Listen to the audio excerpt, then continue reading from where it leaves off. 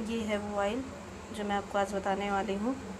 सो पूरे वीडियो बने रहिएगा, ये ऑयल कितना अच्छा है, ठीक है? तो मैं आपको बनाने का तरीका बताती हूँ कि कैसे बनेगा ठीक है? ये ऑयल बहुत ही ज़्यादा फ़ायदेमंद देने वाला आपके बालों को। नमस्कार दोस्तों, मैं हूँ सीमा। आज अपने चैनल पर हाजिर हूँ एक अच्छा सा डी आई लेकर के, जो हेयर पैक भी हेयर ऑयल भी है और आपको डबल बेनिफिट देने वाला है। ये चाहे बच्चों को लगाओ, चाहे बड़ों को लगाओ, किसी को भी नुकसान नहीं करने वाला, किसी को भी साइड इफ़ेक्ट नहीं करने वाला, ये बहुत ही अच्छा डी आई है सॉरी और ये hair hair pack hair oil बहुत ही अच्छा कितना भी महँगा हेयर ऑयल है, लेकिन इसके सामने फेल ये हंड्रेड परसेंट गारंटी के साथ कह सकती हूँ मैं। मैं यही हेयर ऑयल लगाती हूँ, यही लगाती हूँ। सो मैंने कहा आपके पास क्यों ना मैं शेयर करूँ? तो मेरे साथ बने रहिएगा। मैंने खाली पैन लिया है, गैस को जला दिया पैन थोड़ा सा हो जाए, गरम। और मैं इसमें ऐड करूँगी कोकोनट ऑयल आपको जैसे कि पता है कोकोनट ऑयल के बारे में, ये कोकोनट ऑयल है, मैंने हंड्रेड ग्राम का ले रखा है ये ऑयल मैं इस इस ऑयल को मैं पूरा ऐड करूँगी इसमें, ठीक है? सो मैं इसमें पूरा पहले ऐड कर देती हूँ।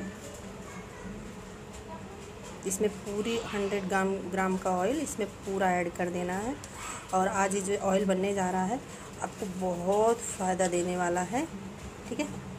सो मैं इसको, ये देखिए, मेरा ऑयल हो चुका है। अब ये मैंने इसको 100 ग्राम पूरा ऐड कर दिया इसमें और ये देखिए, पूरा ऑयल हो चुका है। अब मैं इसमें ऐड करूँगी दो चम्मच वो कलौजी, दो चम्मच कलौजी जो मैंने ये ले रखा है। देखिए ये ये मैंने दो चम्मच कलौजी ले रखा है और दो चम्मच मेथी दाना ले रखा है और ये एलोवेरा जेल एक स्लाइस लिया था बड़ा। मैंने पास प्योर था, जिसके पास प्लांट ना हो वो मार्केट के एलोवेरा जेल ऐड कर सकता है। इसमें दो से तीन चम्मच तीन चम्मच मार्केट के एलोवेरा जेल इसमें ऐड कर सकते हैं।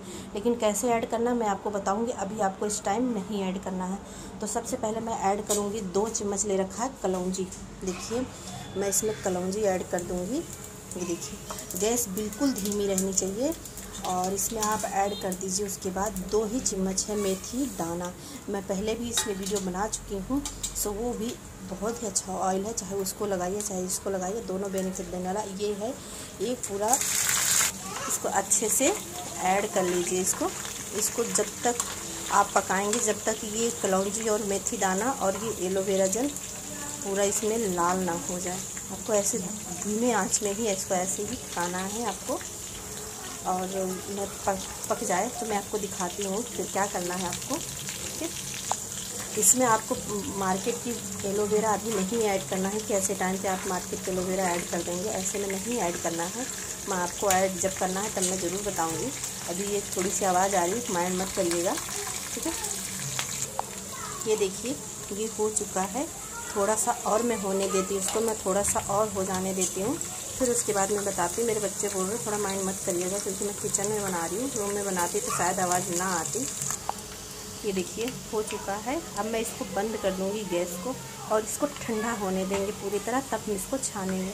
फिर बताएँगे लगाने के लिए इसमें क्या क्या और चीज़ें डलेंगी, ठीक है?